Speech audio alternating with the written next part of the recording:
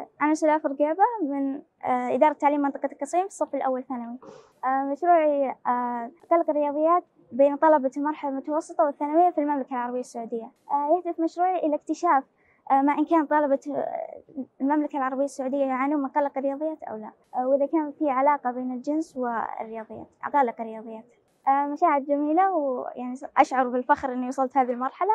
وإن شاء الله آه، أصل للنهائيات آه، صراحة تنافس آه، قوي وجميل. المشاريع كلها جميلة صراحة فيها تنافس. الورشة التدريبية فادتني في إني كيف أكتب البحث العلمي كيف أقدمه كيف أصيغه بصيغة ممتازة. فمرة فادتني في البحث. كأي طالب مشاعر توتر قلق. لكن الحمد لله أديت جيد يعني. أدائي كان جميل. جاوبت على الأسئلة و... لكن كان توتر شوي لكن الحمد لله إني أوصل آيسف أصير من الفريق. اللي يمثل المملكة في مسابقة آيسف آه، رسالتي إلى كل آه، شخص عنده فكرة عنده ابتكار يسجل في مسابقة إبداع آه، من قبل موهبة. وإن شاء الله فعل التوفيق. أشكر إدارة التعليم في منطقة القصيم.